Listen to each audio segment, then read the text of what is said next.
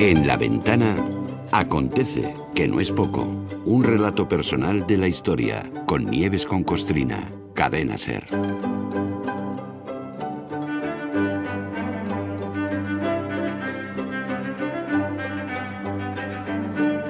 Nieves con Costrina, buenas tardes. Buenas tardes, Marta. ¿cómo Qué estás? alegría saludarte a través de las ondas. Ah, sí, sí, ya era hora. Coño, que no, Es últimamente no, no, no, no nos encontramos. No es verdad.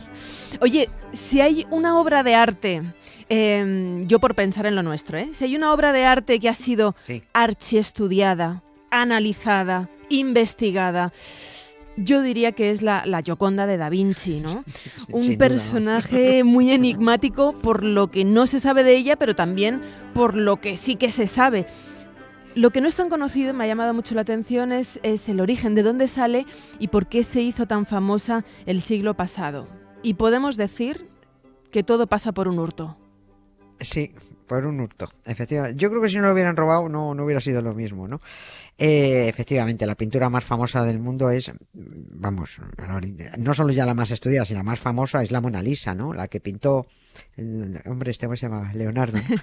el tal Leonardo el da tal Vinci, ¿no? Leonardo, efectivamente. El tal Leonardo da Vinci. Bueno, pero es la más famosa del mundo no porque lo digan los expertos, que hombre, que probablemente digo yo que tendrán razón, ¿no? Sino por la cantidad de cosas que le han pasado. Mm. Eh, a la Mona Lisa, que es esa señora plana de dos en dos dimensiones, que pequeñita, que es pequeñita. Mucha gente cuando va a verla dice, no, vaya birria, ¿no? Que pequeña, ¿no?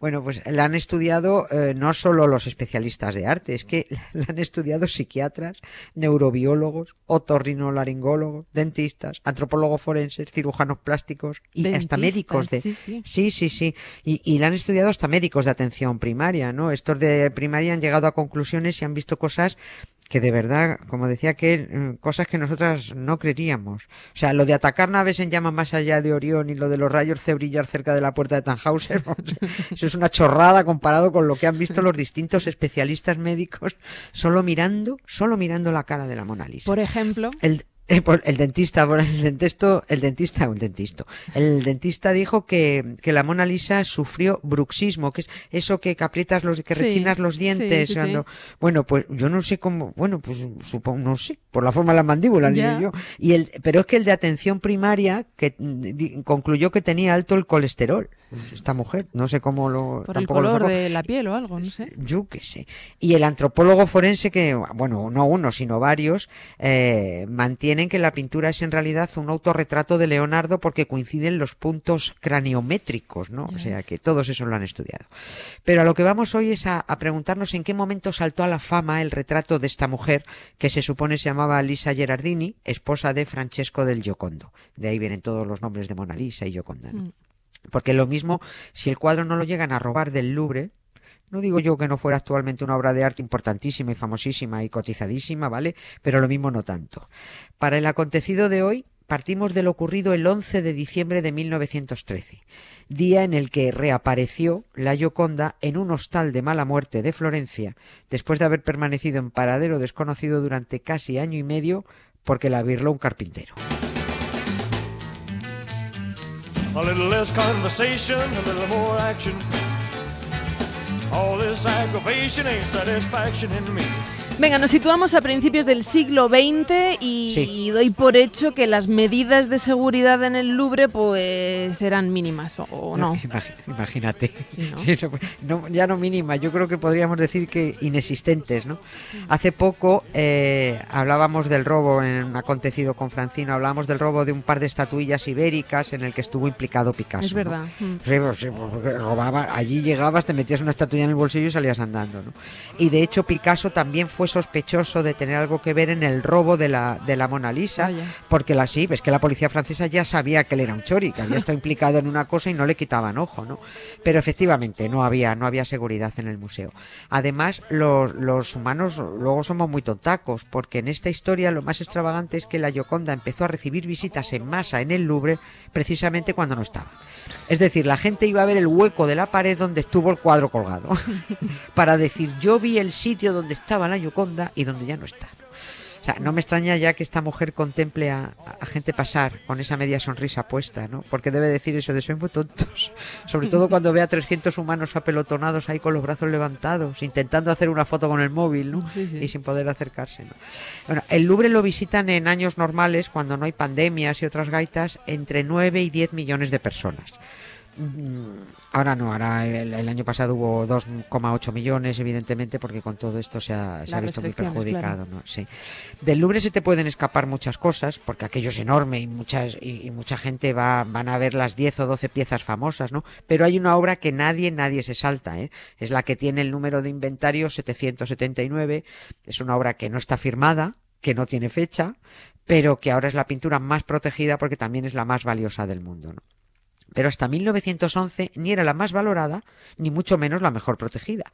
Por eso en agosto de aquel año de 1911, pues un trabajador del Louvre, un italiano fanático muy patriotero él, pilló la tabla, se la metió debajo de su bata y la robó, convencido además de que hacía un servicio a la patria. Pero, pero ¿qué pasa? ¿Que le molestaba que, que una dama italiana pintada por un italiano estuviera en Francia? Pues, pues, más o menos, más o menos. Es que claro. Algo así, claro. Lo que pasa, eh, italiano y del veía la Gioconda, Florentina, ¿esto qué hace aquí? Claro. Esto, esto, esto es de mi pueblo, esto es de italiano, ¿no?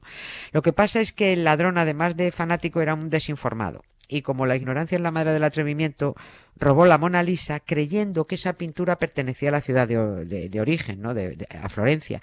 Pero es que Vincenzo Perugia, que así se llamaba el ladrón, en realidad hizo el canelo porque parece que solo fue el tonto útil para un listo. Luego vamos con ello.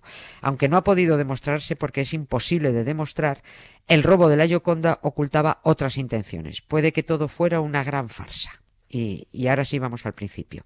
El Venga. carpintero Perugia estaba trabajando en el Louvre temporalmente para construir unas cajas con vidrio por delante para proteger las pinturas de posibles actos vandálicos. Hacía unos días que había habido un problema y el Louvre dijeron, parece que tenemos que poner seguridad. ¿no? Mm. Bueno, pues un día de agosto, que era domingo, cuando acabó su jornada de trabajo, este hombre, el carpintero, no se fue. Se escondió en un armario y al día siguiente, lunes, día en el que el museo se cerraba al público, salió del armario. y, se, y, y se fue, se fue a por la Gioconda, que no había nadie en el museo. Quitó el marco, se escondió la tabla debajo de, de- su bata y salió tan pancho del museo. El guardia de seguridad le abrió la puerta porque como iba vestido de trabajador y, y lo conocía, bueno, pues lo dejó salir. Dos días después, la noticia, como el lunes no se supo nada, hasta el martes no se nota el robo. Y dos días después, la noticia salta a la prensa, despidieron al director del Louvre, despidieron al jefe de seguridad, y los parisinos que nunca quisieron ir al museo a ver la Gioconda, pues se tiraron en plancha a visitar la sala donde había estado colgada esta A ver, mujer, ¿no? eh, a ver el hueco vacío. a ver el hueco vacío, ¿no? El carpintero Perugia creía en su ignorancia que la Mona Lisa estaba en el Louvre porque Napoleón le había robado eh, cuando invadió Italia. Y dijo él, pues yo se la robo a los franceses y la devuelvo a, mi país, ¿no? Pero es que no, no es cierto. La Gioconda está en Francia porque así lo quiso Leonardo da Vinci. Leonardo vivió y murió en Francia bajo la protección y el mecenazgo del rey Francisco I. Y un año, un año antes de morir eh, Leonardo, eh, él mismo le vendió la Gioconda al rey. Por eso la pintura pertenece a Francia de pleno derecho.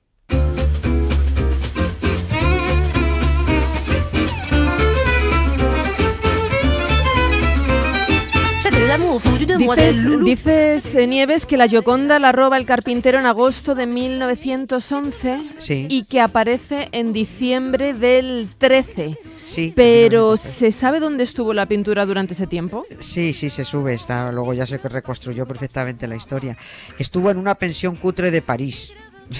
Hasta unos días antes de ser recuperada, la Gioconda no salió de Francia. Estuvo en una pensión cutre ahí, guardada, escondida, ¿no? Porque durante el año y pico que la Gioconda permaneció en poder del carpintero, este pavo estuvo esperando una llamada, un contacto de alguien que le diera instrucciones, eh, contacto que jamás se produjo y al final tiró por su cuenta, ¿no? Y ahí es cuando lo pillan. Cuando se puso a pensar él solo lo pillaron. Por eso decía lo del tonto útil, ¿no? Que claro, el tonto útil. Eh, ahora, ahora entra en escena el cerebro de esta historia. Insisto en que no se ha podido demostrar al 100%, pero parece, bueno, que, que- que por ahí van los tiros, ¿no? Eh, parece que aquel robo fue una maniobra de distracción para organizar una estafa. Quizás el timo artístico más sofisticado de todos los tiempos.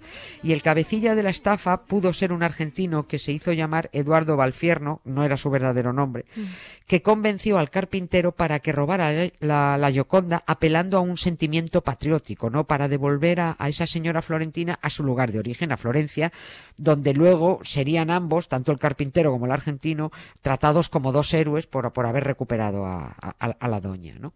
Perulla recibió unas pelas por el robo y luego se quedó esperando instrucción diciendo, vale, ya he ro- ahora qué hago, ¿no? Esas instrucciones nunca llegaron. Nunca. Hasta que pasados un año y cuatro meses, dijo él, pues voy a ver si a la Gioconda la llevo yo a Florencia y de paso saco unas cuantas pelas más, ¿no? Escribió a un anticuario florentino ofreciéndole la Gioconda a cambio de medio millón de libras. Y la carta, la carta iba firmada con nombre y apellido y con dirección. Ay, Sí. Sea, el capit- este hombre tenía menos luces que una Ya. patera, el hombre, sí. El anticuario, claro, recibe aquello y se cita, se cita con el ladrón y se cita aquel 11 de diciembre de 1913 en la habitación número 20 del Hotel Trípoli de Florencia. Y allí estaban esperando al Panoli eh, del carpintero que llega con su Gioconda debajo del brazo, le esperan el anticuario y el director de la Galería Uffizi para ver si aquello era un timo, una payasada o de verdad era la Gioconda. Y era la Gioconda. La, claro, la, la siguiente en aparecer fue la policía, ¿no? claro. Estaba, estaba todo previsto, ¿no? Y todavía, fíjate que todavía en la habitación eh, número 20 de aquel hotel hay una plaquita que recuerda que allí fue recuperada la, la pintura. El hotel inmediatamente dejó de llamarse Trípoli, cambiaron el nombre, ahora se llama Hotel La. Gioconda, claro. Por si alguien quiere buscarlo. Oye, pero ¿cuál, cuál era el, el objetivo del argentino que, que empujó al carpintero a que robara el cuadro? Pues un, grandi- un fantástico, grandioso timo, no sé cómo decirlo.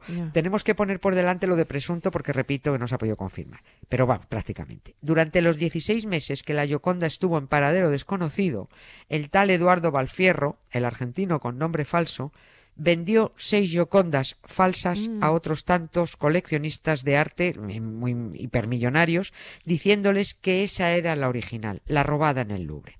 Porque este timador, meses antes del robo, le había encargado a un pintor francés experto en falsificaciones, a Yves eh, Chaudron, que hiciera seis copias de la Gioconda. Dijo, hazme seis copias clavadas. ¿eh? Inmediatamente después del robo, cuando ya todo el mundo estaba enterado de que la Gioconda había volado, el argentino utilizó sus contactos, hizo creer que la Gioconda estaba en su poder y la vendió a seis coleccionistas. Los seis compradores que, que, bueno, que cada uno pagó 300 mil dólares por la pintura, estamos hablando del año Ya ves. 1911, creyeron que la suya era la original, ¿no? Cuando se recuperó la verdadera Mona, Mona Lisa, nadie pudo denunciar porque los adquirientes podrían haber sido acusados de comprar obra de arte robada Claro. y encima quedarían como unos panolis timados, ¿no? Dicen, oiga, que yo compré la Gioconda, tú eres tonto, ¿no? Estaban pillados, hicieran lo que hicieran. Con el robo de la Gioconda, la pintura de Leonardo, bueno, pues por supuesto multiplicó su fama, ¿no? Como dice la, la autora, eh, no, escribió un libro que se llama El robo de la sonrisa, eh, la autora es Rita Scotti, eh, dijo, dice en su libro, Mona Lisa abandonó el Louvre siendo una obra de arte y volvió convertida en un icono, ¿no? La, la lástima es que sí, un icono con el colesterol alto y con bruxismo. Lo mal que estoy y lo poco que me quejo, lo mal que estoy y lo poco que me quejo, siempre me levanto. Nieves, muchas gracias. Mañana más. Mañana más. Un Muchísimas beso. gracias a ti, Marta. Un beso. Desde lejos me regala su silencio, pero yo me hago el sueco mirándome en el espejo.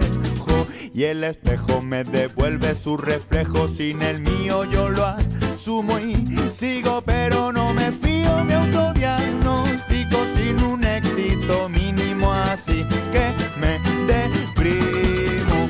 Lo mal que estoy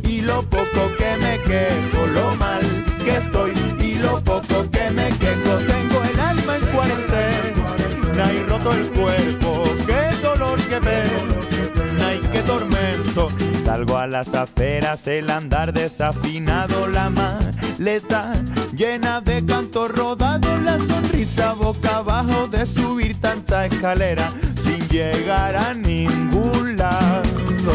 Y la historia me critica porque siempre estoy penando. Yo les digo, pobre de aquel que oculta su llanto. Un ladrillo no sabe llorar, pero tampoco lleva bien el compás. Lo mal que estoy y lo poco que me quejo, lo mal que estoy y lo poco que me quejo. Tengo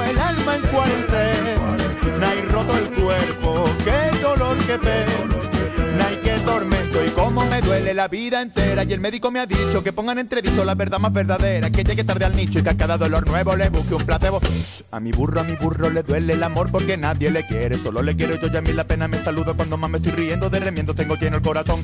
A mi burro, a mi burro le duele el amor porque nadie le quiere, solo le quiero yo y a mí la pena me saludo cuando más me estoy riendo de remiendo tengo lleno el corazón. Chimpón.